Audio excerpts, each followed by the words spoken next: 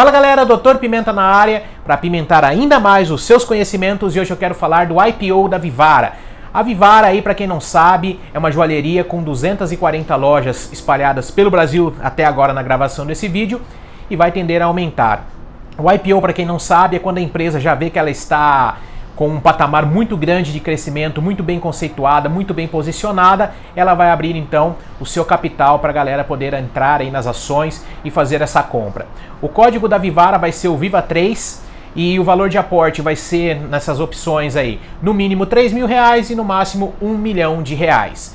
Para você que não está encontrando a sua corretora, a maioria das corretoras tem lá ofertas públicas e é lá que você vai encontrar essa parte do IPO da Vivara. 73% do IPO vão ser as ações que os donos da Vivaras estarão disponibilizando e 27% as ações para abrir mais o capital. E sendo assim, muito provável que nessa abertura de capital, nesse IPO da Vivara e da Viva 3, eles capitem aproximadamente 2 bilhões de reais e o preço médio estipulado por eles aí ficou entre 21,17 e 25,40.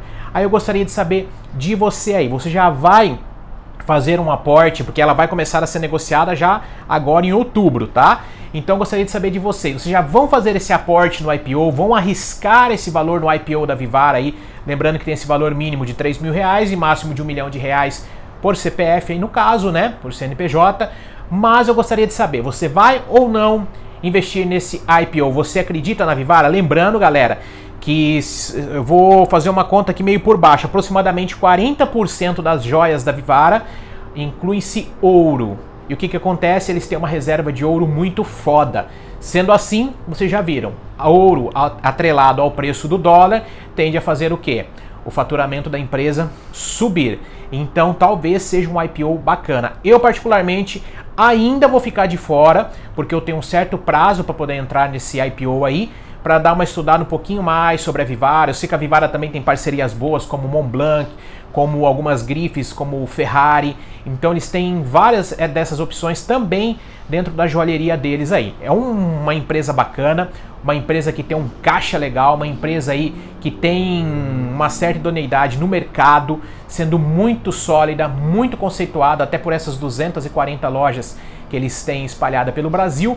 Então talvez seja o momento para eu entrar nesse IPO e talvez você também. Escreva aqui no comentário desse vídeo onde você estiver assistindo o que você acha disso? Você vai entrar também no IPO da Vivara? Vai esperar abrir as negociações das ações aí da Viva 3 para depois você fazer o aporte, ver como se vai comportar? O que, que você pretende fazer na Vivara aí? Lembrando que esse ano nós iremos ter aí mais IPOs que eu vou gravar depois em outros vídeos para falar para vocês aqui, tá legal? Espero que vocês tenham gostado. Deixa aqui no comentário, você vai ou não entrar no IPO e por quê? Para eu saber como você está se comportando no mercado aí, para a gente ficar um pouquinho mais perto, beleza? E já se inscreve no canal, ative as notificações aí. Não esqueça, hein, galera? Fez sentido para você? Compartilha aí, ajuda meu canal aí, ajuda eu levar conteúdo gratuito fazer um canal de valor mesmo para vocês aí. Há muita gente que está precisando investir o dinheiro de forma correta aqui no nosso Brasil, beleza? Um super beijo, curta, curta, curta, compartilhe, favorite muito todas as nossas redes sociais e até o próximo!